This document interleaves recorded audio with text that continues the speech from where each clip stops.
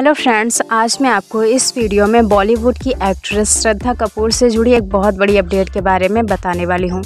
तो friends Bollywood actress Shraddha Kapoor की pipeline में कई प्रोजेक्ट्स हैं। अब हालिया रिपोर्ट्स के अनुसार अभिनेत्री अपनी अगली फ़िल्म के लिए एक बहादुर, कश्मीरी लड़की रुखसाना कौसर की भूमिका निभाने के लिए तैयार हैं। वहीं हम आपको बता दें कि पिंकविला की रिपोर्ट के अनुसार श्रद्धा जल्द ही रुखसाना की भूमिका निभाएँगी। वो लड़की जिसने लश्कर ए तैयबा के आतंकवादी को मार डाला था। फ़िल्म के बारे में अब तक कोई और जानकारी साझा नहीं की गई है। एंटरटेनमेंट मोर्टल ने एक सूत्र के हवाले से जानकारी दी। फ़िल्म के निर्माता रुखसाना की भूमिका निभाने के लिए किसी ऐसे शख्स को चाहते थे जो स्क्रीन पर बीस वर्षी की तरह दिखे। श्रद्धा कपूर निसंदेह भूमिका के साथ न्याय करेंगी, इसलिए उन्हें फ़िल्म में लिया गया है।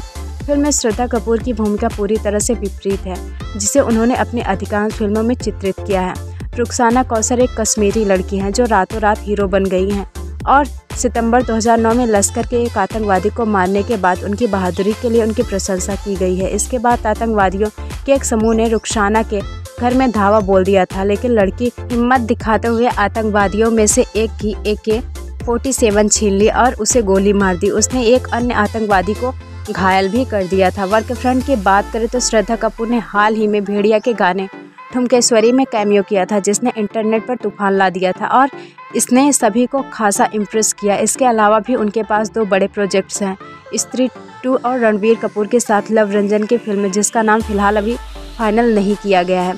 हाल ही में यह खबर आई थी कि दिशा पटानी को एकता कपूर की कैटीना से हटा दिया गया है।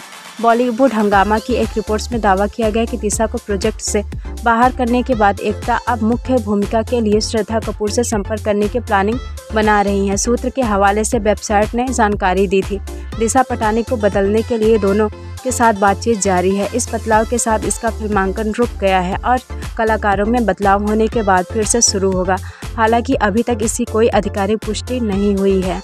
तो फ्रेंड्स श्रद्धा कपूर को कश्मीरी लड़की रुखसाना कौसर की भूमिका में देखने के लिए आप कितना ज़्यादा एक्साइटेड हैं? प्लीज़ कमेंट बॉक्स में कमेंट करके बताइए। और इसी तरह के वीडियो को देखने के लिए मेरे चैनल को लाइक शेयर एंड सब्सक्राइब ज़रूर करें। मिलते हैं नेक्स्ट वीडियो में। Bye bye